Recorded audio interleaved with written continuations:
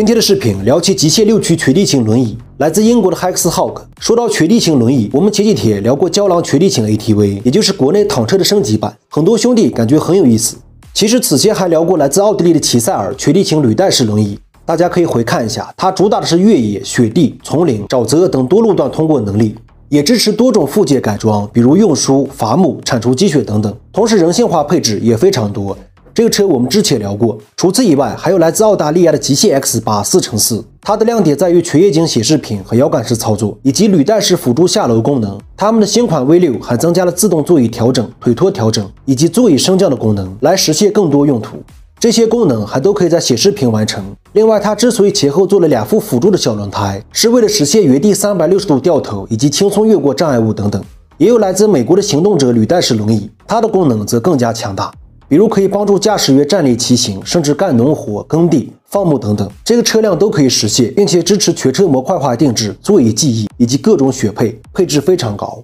与它同类型的还有来自美国七年前推出的 Gas 雪地型履带式轮椅，亮点在于使用了四冲程汽油发动机，配置有防滚架，注重速度和通过性。不过新款都改成了电动的。这他妈的美国还有一种叫越野者全地形轮椅的四驱车，它的结构类似于卡丁车改装而来，亮点在于有更好的防护，同时也配备车把和摇杆式操作两种，还配有前后的绞盘以及你所需要的一切自定义改装。最主要的是它分为儿童版、成人版和老年版三种，还可以根据你的爱好特别定制。重点也是通过性和越野能力。这他妈的老美还有一种军方造的抛石三点零重型履带式轮椅，这家公司呀还生产远程遥控消防机器车。履带式高速越野车，以及柴油和电力混合的小型地面智能机器人，这个小玩意儿可以自主控制反无人机系统和远程武器系统，能实现跟我来的效果。还生产一种叫 M5 的无人驾驶远程操控地面装甲车，最高时速九十六公里。这个玩意儿可以实现周围三百六十度图像合成以及姿态感知，包括人工智能监测或识别周围物体，还内置了机器人侦察车和无人侦察机武器系统。可以说武器系统也很先进，但应该主要是作为侦察使用。哎，这他妈的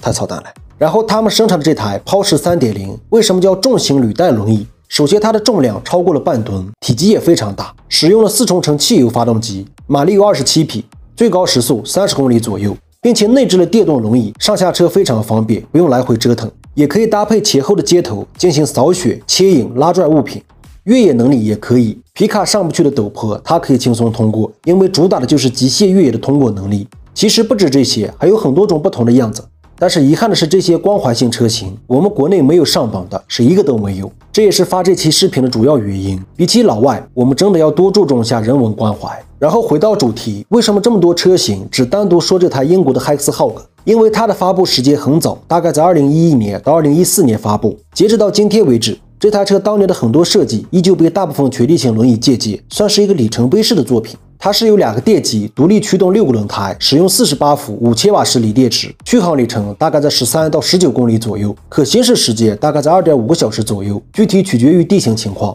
它的重量在二百七十五公斤左右，最高时速十四公里。可以爬升五十度的陡坡，而且当年就使用了摇杆式操纵杆操作，可以看到非常灵活，转弯半径也非常小，也使用了独立长纵臂式悬架以及可弯曲式底盘，可以保证轮胎大幅度倾斜的时候，以及穿过野史、丛林、崎岖地形的时候，座椅可以始终保持水平稳定，甚至可以趟过三十厘米的水深，也可以将座椅电动放到很低的位置，方便上下车。减震器使用了 Fox 二点零减震器。这个车当年最大的缺点就是重量太重，续航里程太短，且价格昂贵，高达四万两千美元。但如今大部分全地形轮椅都在一万美元左右。不过这个 Hex Hog 毕竟是当时少有的往这方面发展的公司，贵也无可厚非。但是他们公司现在的新款很便宜，叫爱玛 X 三，价格只需要四千美元，主打的就是紧凑、轻便，重量也只有二十二公斤，而且这个轮胎充满气可以在水上漂浮。但是它没有电驱动，只能推着走。OK，今天水期视频就聊这么多吧，哪里不对多多指点。